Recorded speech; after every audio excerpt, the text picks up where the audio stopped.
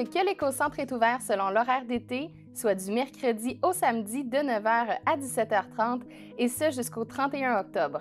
Grâce à l'éco-centre de votre municipalité, vous contribuerez encore plus à une gestion responsable des matières résiduelles.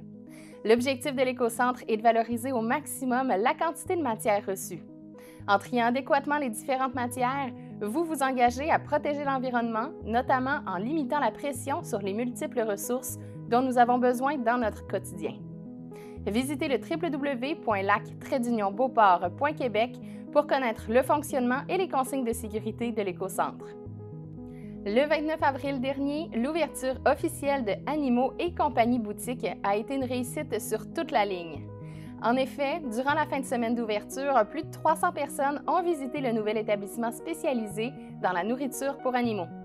Les propriétaires Patrice Thibault et sa conjointe Mélanie Tremblay sont évidemment ravis de la réponse des résidents et résidentes de Sainte-Brigitte de Laval.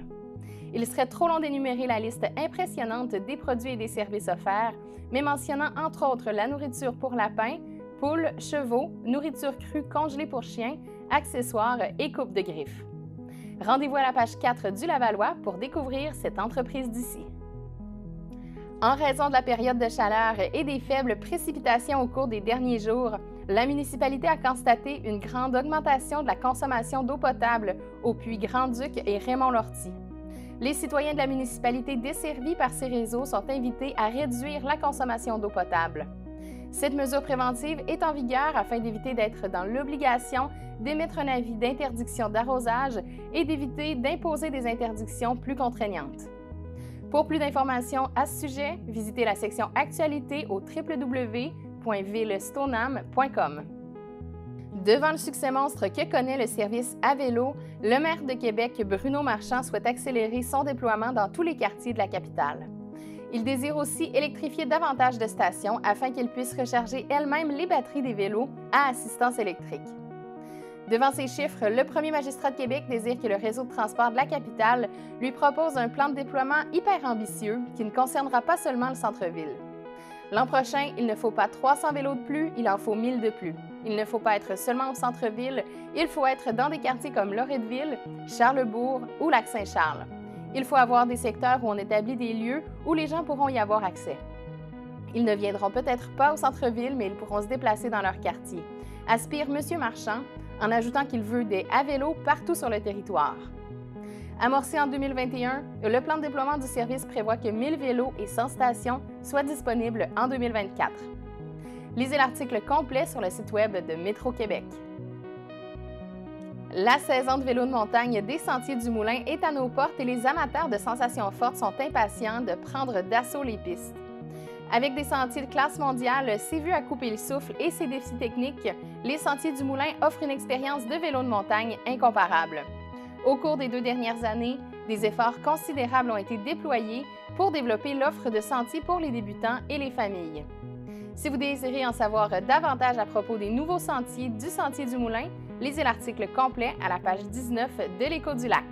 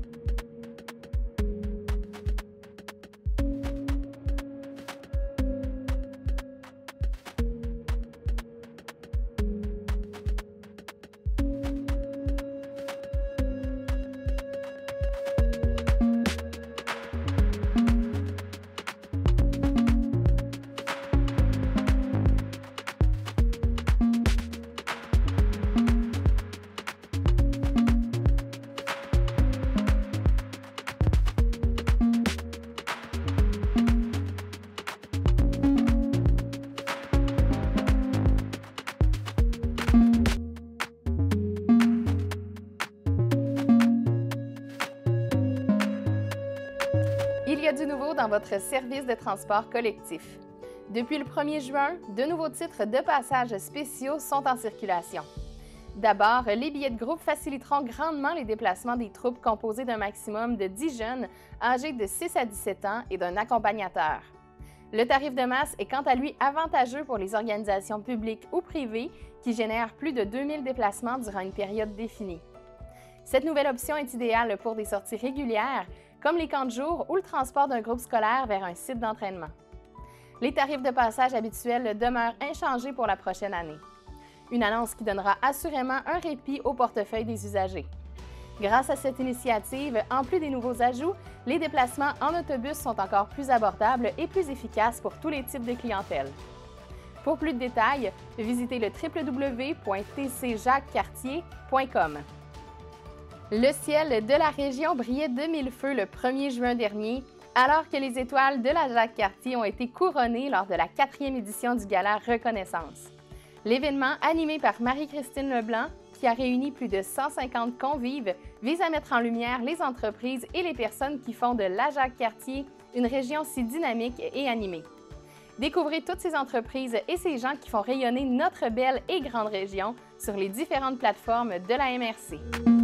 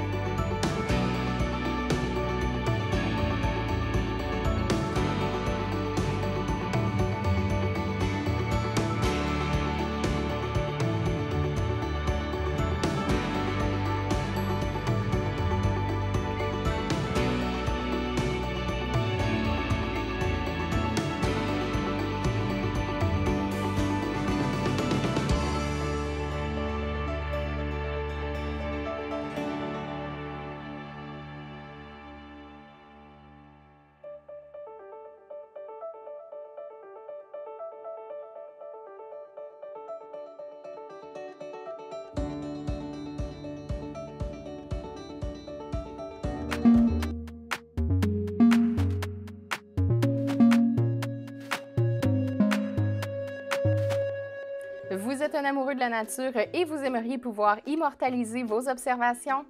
Accompagnez le photographe Maxime Légaré-Vézina lors d'une matinée sur le terrain des Marais du Nord où il vous enseignera les bases de la photographie d'animaux sauvages. Quelques points qui seront abordés comme les qualités requises d'un bon photographe animalier, les recommandations d'équipement photo, les réglages de base de la caméra, les bons endroits pour observer la faune, comment repérer et identifier les animaux, et aussi des techniques d'approche des différentes espèces. L'activité est remise au 18 juin en cas de pluie. Pour réserver votre place, rendez-vous au www.marais-du-nord.com. Le Centre de ressources pour les familles militaires de Valcartier organise une fête familiale pour souligner la Semaine québécoise de la paternité et elle aura lieu beau temps, mauvais temps. Amenez vos serviettes de plage pour pique-niquer au centre communautaire. Il y aura la présence d'Éducazou, des jeux gonflables, de la Zumba, des graffitis avec Yann Lemieux, des jeux de kermesse, le café-cantine Juju, la coopérative Valcaro avec slush, barbapapa, popcorn et encore plus. L'entrée est gratuite et pour obtenir de l'information, vous pouvez les contacter au 88 844 60 60.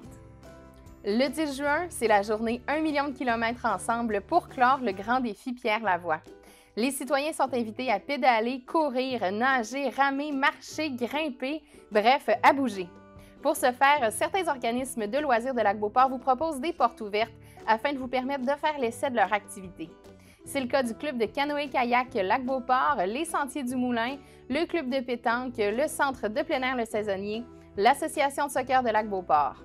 Ce sera également la fête d'ouverture des terrains de tennis et de pickleball de la municipalité.